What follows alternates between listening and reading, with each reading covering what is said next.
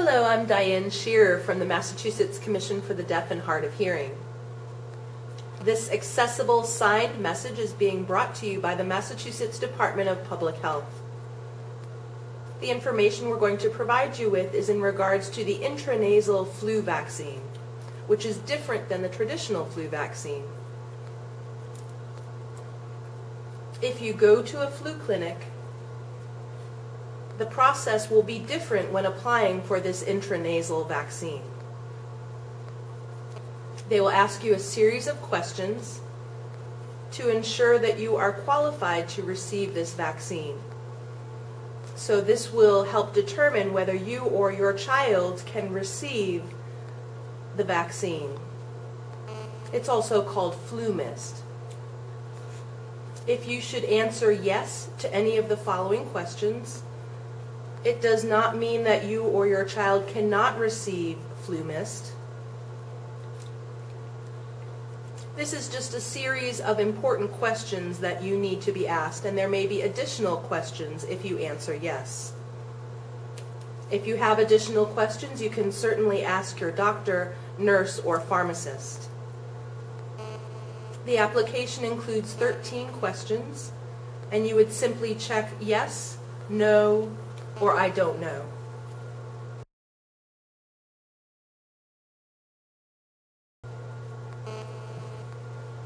Number one, is the person to be vaccinated sick today?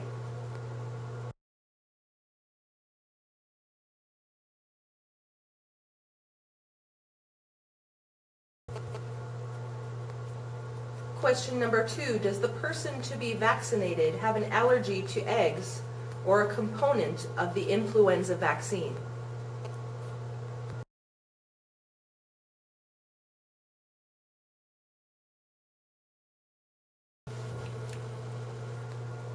Number three, has the person to be vaccinated ever had a serious reaction to intranasal influenza vaccines or FluMist in the past?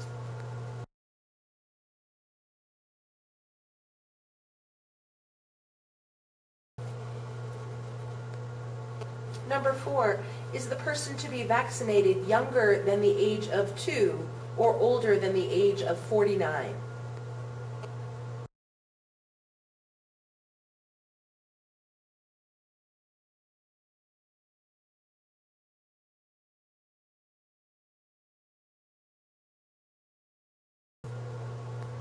Number five, does the person to be vaccinated have a long-term health problem with heart disease, lung disease, asthma, kidney disease, neurologic or neuromuscular disease, liver disease,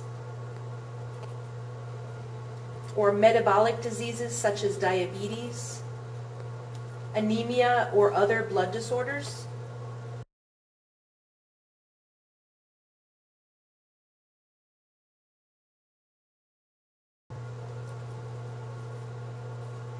Number six, is the person to be vaccinated a child two through four years? Have they, in the past 12 months, had a healthcare provider tell them that they were wheezing or had asthma?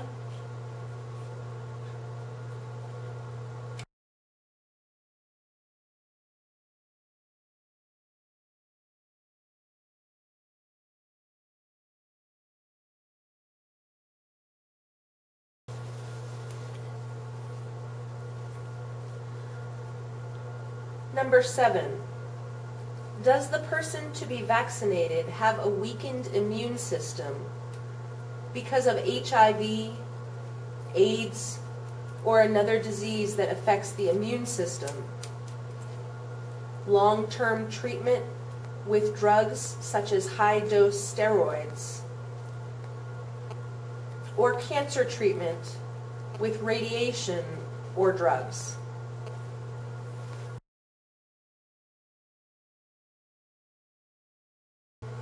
Number eight, is the person to be vaccinated receiving antiviral medications?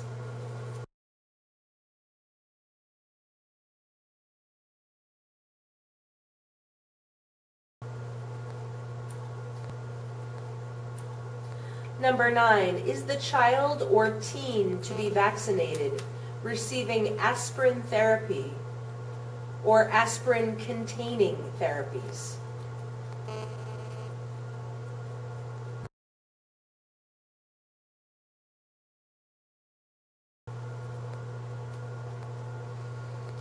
Number 10, is the person to be vaccinated pregnant or could she become pregnant within the next month?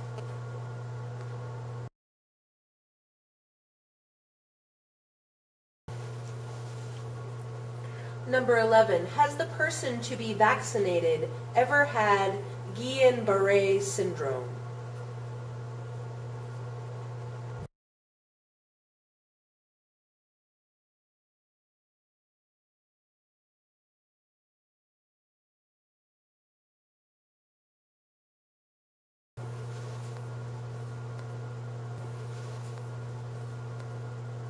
Number 12, does the person to be vaccinated live with or expect to have close contact with a person whose immune system is severely compromised and who must be in protective isolation?